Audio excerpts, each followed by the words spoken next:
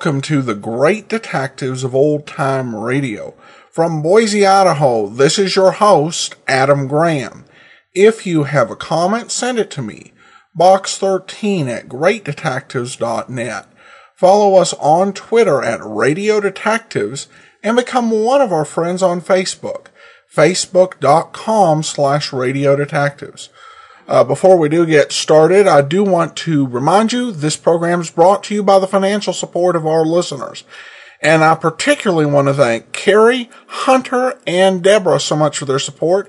Uh, we'll send along access to the uh, premium site as we do with all donations of uh, $7 or more. And also for donations received during listener support campaign, uh, we'll send along uh, a free ebook and an additional thank you gift. Among the thank you gifts we do have available at the $50 level, uh, I'll be happy to send along one of my uh, novels or All I Needed to Know I Learned from Columbo as an audiobook. So Tales of the Dim Knight, Flower, Fly Another Day, and Powerhouse Hard Press, all available as audiobooks at the $50 level. And at the $100 level, I'll be happy to send along any Agatha Christie uh, audiobook that is available through audible.com. A full list of available thank you gifts are available at support.greatdetectives.net. Uh, you can also mail in a donation to Adam Graham, P.O. Box 15913, Boise, Idaho 83715. And if you would like to receive extras and premiums, please include a email address and also a physical address if you'd like DVDs, books, etc. All right, well, now it's time for Crime and Peter Chambers. The original air date, August the 17th of 1954. The title, The School Teacher and the Professor.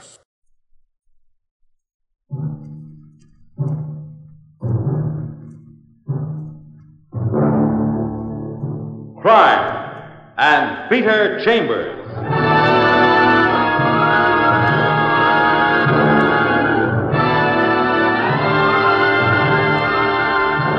Created by Henry Kane, transcribed and starring as Peter Chambers, Dane Clark. You're a private eye. That's your business. Anything else? That's for laughs.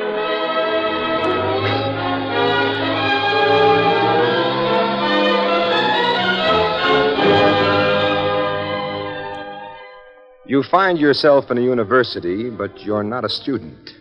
Generally, you're allergic to classrooms, but the lady talking to you, a teacher by name Elaine Janis, well, she's uh, sort of an antidote for the classroom allergy. I need your help, Mr. Chambers. I need your help desperately.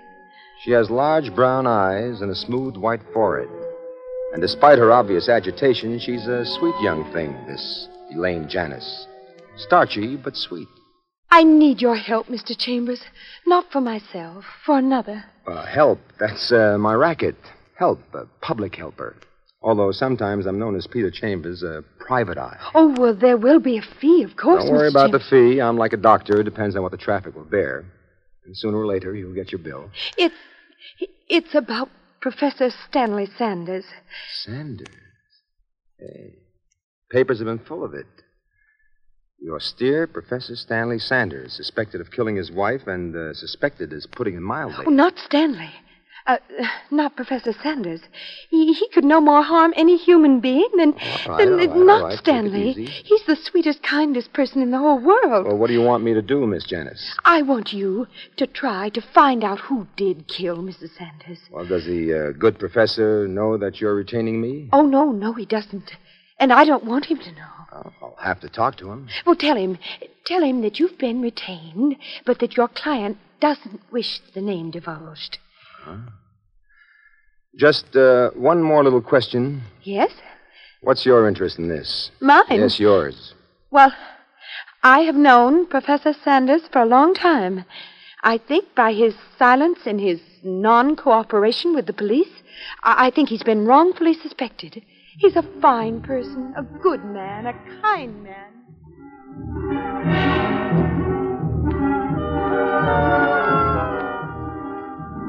Professor Stanley Sanders lives in a suburb at the edge of the Bronx. You drive up there and you find a modest, neat little house. Yes? Yes, Mr. Chambers? The professor's a young man, sandy haired and straight eyed. Yes? What is it, please, Mr. Chambers? Well, I'm not here as a student, Professor Sanders. No. What are you here as? An investigator. Investigator. Are you from the police? No, no, no. I'm a private investigator.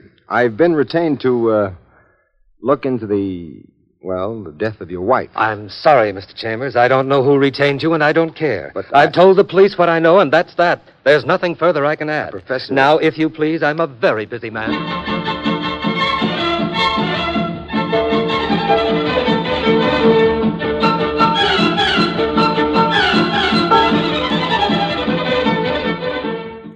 And that's how you read about it in the newspapers. Stubborn Professor Stanley Sanders, who disclaims any knowledge of the murder of his wife, although he was home at the time. Three children, all of them up in camp. So you go to the fountainhead of information, police headquarters, and your very good friend, Detective Lieutenant Louis Parker. Ah, you're mixed up in a rough one this time, Petey, my lad. Louis, Louis, what happened there? Exactly what happened there? Well, all we got is Professor Stanley Sanders' story. All right, what's the story? Well, it's about a week ago. Yeah? It's a warm night. Three kids are off at camp. Professor is alone with his wife at their home in the Bronx. Now, he's wearing slacks and a Look, sweatshirt. Louis, I'm not interested in the sartorial Well, effect. be interested. Why must I be- Because it's got a bearing on the case. All right, all right. All right, okay, all right. Well, about ten minutes before the murder happens, Professor Sanders is seen strolling outside in the slacks and the sweatshirt. Then he goes into the house. The rest is his story. All right, what is his story? Well, the wife was in the kitchen. He went upstairs, to the bedroom, to read. So, according to him, he hears sounds of a scuffle. He runs downstairs and he gets hit a hard blow on the neck, knocks him out. When he comes to, his wife is on the kitchen floor, stabbed 15 times. She's dead. Sweatshirt he was wearing, it's gone. Missing. So? So, that's the story, period. Guy himself, the professor, absolutely refuses to cooperate any further. Well, what's he got to cooperate about? Oh, now listen hard, Mr. Peep, and try and think like a grown up detective. I'm listening, Master. Look, I'm a harness bull. I don't do the glamour routine like you guys. I said I was listening, Louis. All right. It's an isolated home on Staten Island. Wife stabbed to death. Nobody home except him and the missus. Kitchen knife missing, sweatshirt missing right off his body. And what are your ideas on that? Well, only that the sweatshirt was blood-stained he got rid of it together with the knife. We accuse him, he refuses to talk, except to deny the murder. We want him to take a lie detector test, refuses, absolutely. Now, what would you think, Pete? don't ask me, Louis. I'm a glamour boy. You're the harness bull. It's your thinking that counts. Well, I think the guy's guiltier than seven devils in Hades. Well, why don't you lock him up? Because there's one thing missing. And that? Motive, my boy. Motive for murder. Oh. That we ain't got. So, so far, all we can do is accuse him and holler, and papers make a big stink about it. Without motive, we're hamstrung, Pete. Yeah, I suppose you are. What else you got, Louis, that the uh, newspapers haven't got? Oh, now look, Come on, sonny. Louis. It's confidential. It's always confidential. I've been retained on this thing. I'm working. Whatever I dig up, I turn into you. So, uh, noblesse oblige. Tit for tat. Come on. All right. Take a look. Search of the house disclosed these. First, a note. Typewritten note. Let me see it. Yeah. Let's see. Look out for yourself. You'll be sorry. And it's signed by initials SS. SS. Stanley Sanders. And a couple of weeks ago, he was out of town, so it figures that he wrote her this nice, sweet little letter. We found it in her handbag. And what's the rest of this stuff? Menus. And Mm-hmm. Menus from restaurants, nightclubs. Looks like she was one of them collectors, you know, menus. Can I see that? Yeah, help yourself, detective. Thank you, Detective. Don't mention it, detective.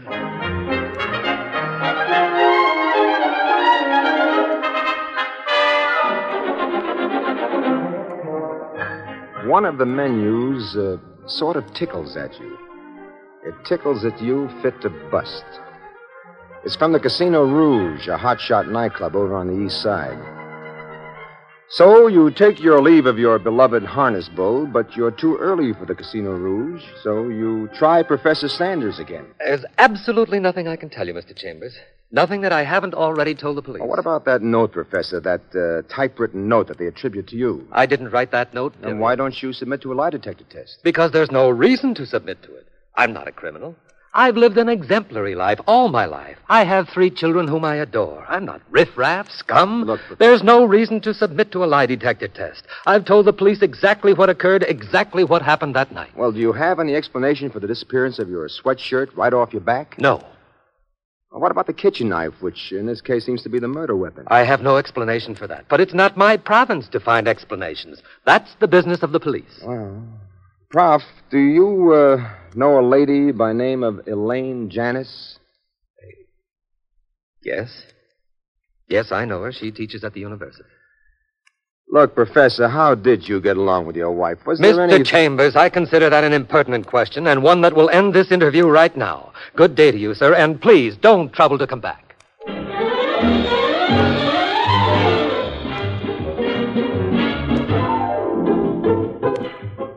So, that evening, you're an early nightclubber.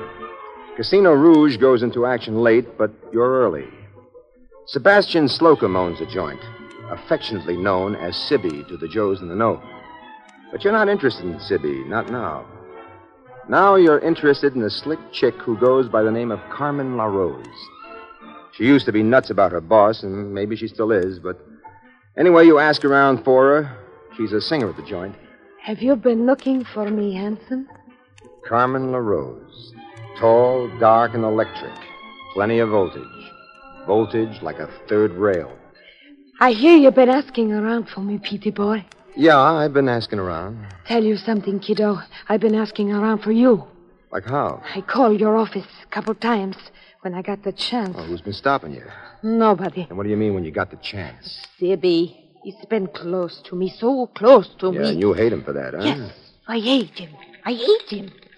I call you, but you are not in. I've been working on a case. What's uh, with you and Sibby? I thought you were nuts about that mug. No more. I hate him. And I am scared, pretty, scared stiff. I, I don't know if he knows. But I thought. I don't know if he knows. You don't, You don't- know if I know what, my little boy. Well, how you doing, Sibby, my little Boyd? I don't like you in my place of business, Snooper. Me, Sibby, my little boy? I don't like no coppers in my place of business. I'm no copper, Sibby. To me, you're a copper.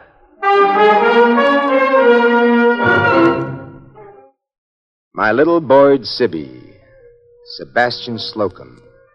Six feet tall, Latin type, lover type. Sleek, slim, and dapper, with wild black eyes that look like they need four alarms to put out the blaze.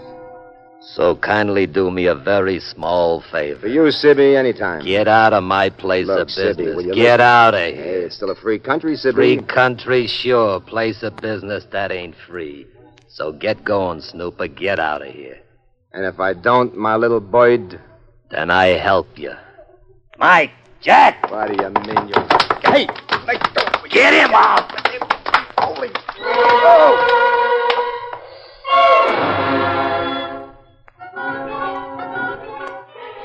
Have uh, you ever been bounced out of a nightclub? Happens to the best of people. Makes you a member of a very select circle. Anyway, you get up and you brush at your clothes and you have a small debate with yourself. Do you go back and break up the joint, or do you keep punching at your business? You have a tough tussle with your alter ego, but business wins out. So, once more, you go where you aren't wanted, to the home of Professor Sanders. But there you learn that he's been picked up, arrested for the murder of his wife. So you hightail it down to headquarters and you're ushered into Parker's office, and there they are. The good lieutenant, the professor, and what do you know? Elaine Janis. Okay, Pete, we got the whole story. We even know that Miss Janice retained you to help our professor here, Well, you said you didn't have enough on him, Louis, until you had a motive. which is what we got right now. Plenty of motive. Like what? Like love. Love? Mm-hmm. That's motive for murder? It is when you're in love with the wrong party. I had to tell them, M- Mr. Chambers. I had to talk. I couldn't hold it any longer. Holding it back was, well, it was like lying. Yeah, but you don't- And they should know everything. They should know the truth. Truth, what truth? Dear Professor Sanders and dear teacher here are very much in love. Professor asked his wife for a divorce. His wife refused. Good enough, Detective? Do we have a motive? You see, he didn't do it. I'm perfectly confident. And I want you to know everything, but but he didn't kill her. I want to talk, Professor. I've told you all I intend to tell you. I'll add that I did ask my wife for a divorce and that she refused. But I didn't kill her.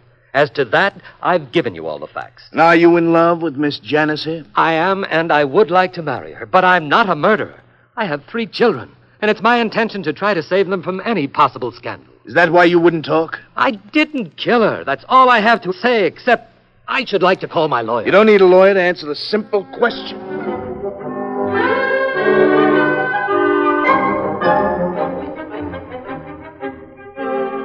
And so it goes deep into the night. They put the grill on Professor Sanders, but he clams tighter than a teenager's evening gown. Finally, when Parker throws his hands up in disgust, you get out of there. And where to? Casino Rouge. You owe a debt there. Your dignity's been bruised, among other things. But you're late. Carmen La Rose left with Sebastian Slocum. You throw the bartender a couple of tens, and you learn that Carmen lives up at Rye Beach, a little shack up at Rye Beach. It takes you a half hour to get there, and then you mosey over to a window, and you make with the gander. There they are, drinking it up, the two of them. The window's locked from the inside, but you can hear. Nothing, Sibby. I didn't see nothing. I don't know what you're talking about. You can tell me, honey. I don't care if you saw. But I want to know. I don't want you holding out on Sibby. Uh, Here. no. Here, have a little belt. Have a little belt on Sibby. Ah, you wouldn't hurt me, Sibby.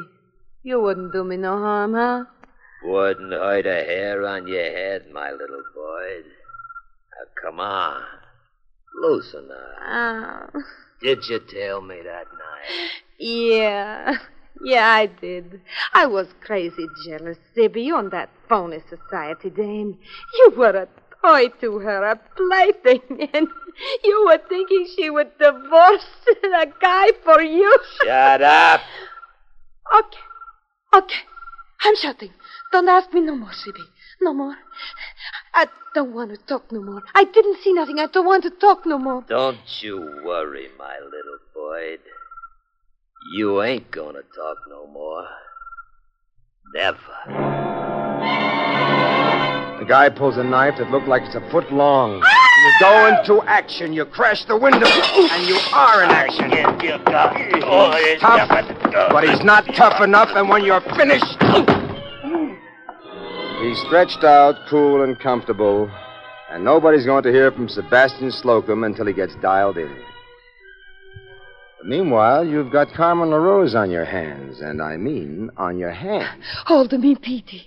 Kiss me. Carmen. I am afraid. Hold me, please. Now, hold easy, me. easy does it, Carmen girl. Hold Take it me. easy. Kiss me. What's going on here? Kiss me, please. Look, Carmen, my little boy, this isn't the time. It's not the It place. is. It is when I am frightened. When when I am frightened, I am like a little child. Yeah, Please but- kiss me, please, please, please, please. Okay, okay, okay. And now, um, Yes. Talk it up, sister. Oh, yes, I will. Once, once I love him. I thought I love him. No more, huh? No more. He is like Tomcat. Women, he does not care. Anyway, this one came. This one, for once, he is entangled. A society thing. This professor's wife, this uh, Mrs. Sanders. Yeah, yeah, yeah, yeah. She lead him on. She lead him by the nose. She is one to enjoy, but she does not become entangled. So then Sibby talks to the wife, and she laughed in his face. She says she is happy, protected as a married woman. So? So later on, he types note to her from Casino Rouge office. He thinks I do not see it, but I see it. I see a threatening note. And she comes then to the club. And again she laugh at him. She laugh right in his face. And then? Then last week he goes there. I go after him. He does not know it, but I am tailing him because I want to know. I want to see. The husband is upstairs. I am by the kitchen window. They fight, they argue, and he kills her. Butchers her with kitchen knife. The husband comes down the stairs. Sibby, wait, behind the door, slugs him. He falls near her. There is blood on his shirt. Then Sibby takes the shirt off him, takes the knife, and he goes. Got any idea why he took the sweatshirt? I imagine to make something that cannot be uh, explained. I imagine to put the suspicion on the husband. Yeah, yeah, yeah. I imagine that you imagine pretty good, my little one. Ah, so now, please hold me. Please kiss me. Hey. I am afraid. Oh, please.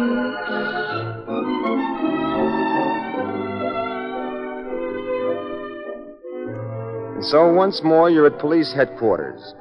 Sebastian Slocum is confined to the calaboose. Carmen LaRose is held as a material witness. And Professor Sanders, free as a lark, is in Parker's office with Elaine Janis. And you, you're listening. Professor, I don't get you. I simply don't understand. He you. is a good, dear, fine man. Yeah, but he almost got himself fried in the hot seat clamming up like he Oh, did. there are all kinds of people, Lieutenant. Yeah, there certainly must be. Scandal, Lieutenant. I shudder at it. I have three children. So you told me over and over and over. Let me give you a little background, Lieutenant. My father was a minister. My mother, a devout woman, a social worker.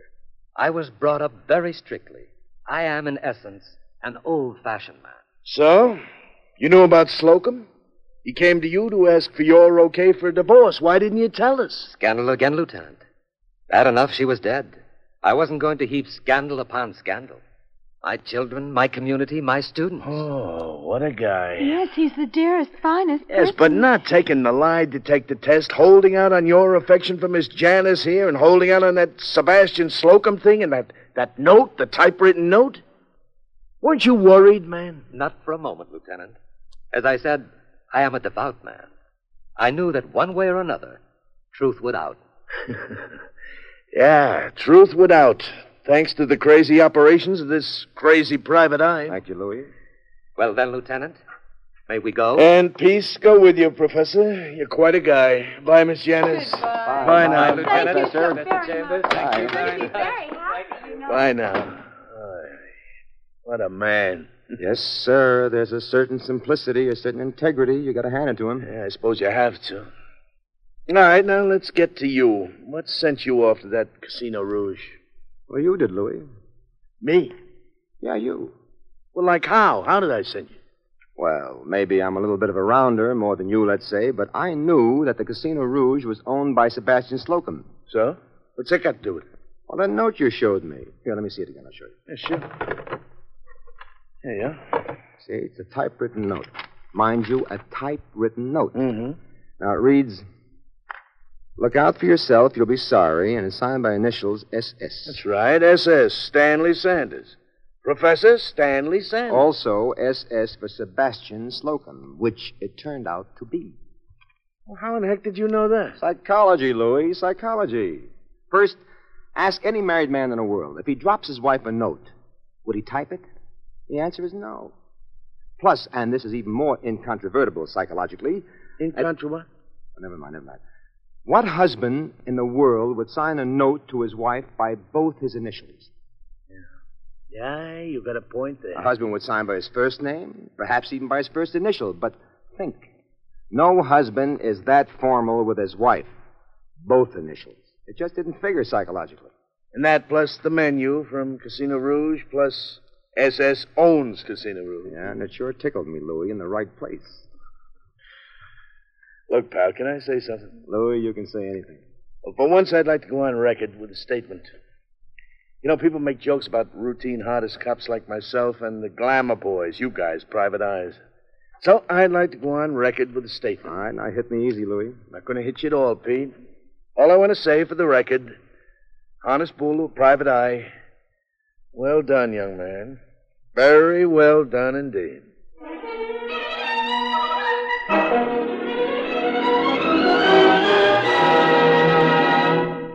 And there you've had Crime and Peter Chambers.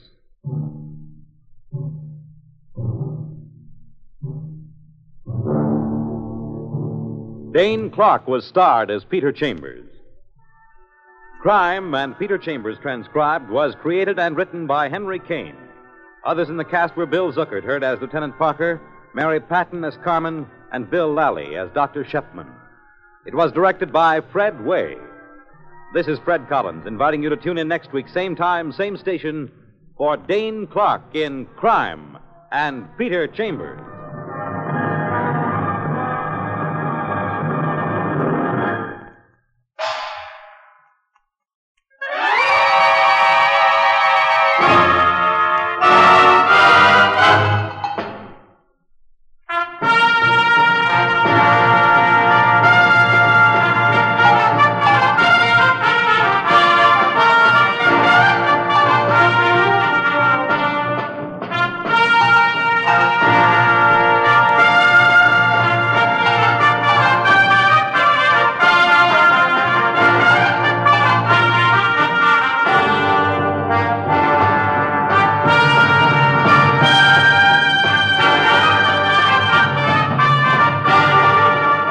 Us again next week at this same time for another adventure by Peter Chambers in Crime and Peter Chambers. This is the United States Armed Forces Radio and Television Service.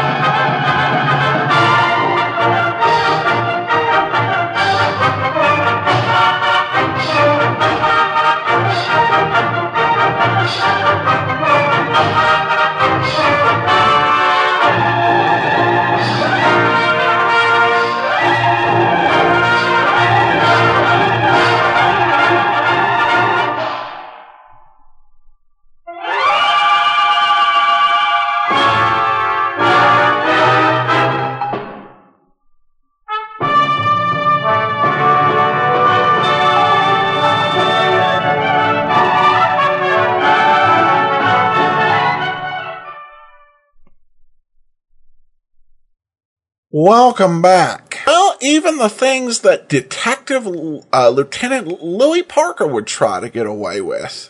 Uh, before there were Miranda warnings. Uh, I definitely enjoy just the easy chemistry between, uh, Dane Clark and Bill Zuckert, and, uh, nice dialogue here. Uh, I do have to say that uh, Crime and Peter Chambers will be coming to an end. In four weeks, we'll be bringing you Man from Homicide, so we only have three more weeks of Crime and Peter Chambers left. So uh, join us for that for the next three weeks, and then coming in four weeks, it will be Man from Homicide. All right, well, on to some listener comments and feedback. Hunter sends in just a simple, encouraging, uh, please keep up the great work. Well, thanks so much, Hunter. And then Carrie had a comment uh, regarding the episode uh, Murder at the Racetrack. He writes, I want to go to that racetrack. With the odds they gave for that three horse race, 1 to fi- 5, 40 to 1, and 99 to 1, they wouldn't, they wouldn't be in business long. With three appropriately sized bet, you could guarantee, bet you could guarantee yourself a 16% uh, return. Well, um, that is, it's unfortunate that that's uh, only a fictional racetrack. Um, the only way I guess it would stay in business if if uh, not everyone was as savvy to pick up on it.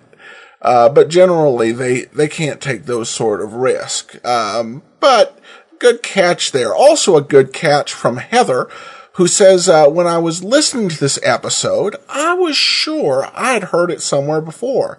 My girls and I brainstormed, and my 10 year old remembered that I'd seen a similar story on a Martin Kane uh, episode and uh, she uh, links to a uh, episode of Martin Kane from 1951 starring Lloyd Nolan. And uh, I've seen that episode too. And it does make sense that Crime and Peter Chambers uh, would borrow from uh, uh, Martin Kane since they were both owned by NBC. And so it would be uh, pretty easy to work things out to reuse a plot idea. And finally, we have a comment from Charles who writes, Congratulations, Adam, on your 1500th episode. It has been a real pleasure to spend many nights driving home late listening to your shows. The darkness and the stillness seem to accentuate the drama and suspense of the sometimes dark and gritty realm of the radio detective, hoping for so many more shows. Well, thanks so much, Charles. Appreciate your uh, congratulation and uh, thanks so much for your kind comments. All right, well, that will do it for today. Join us back here tomorrow for the adventures of Philip Marlowe.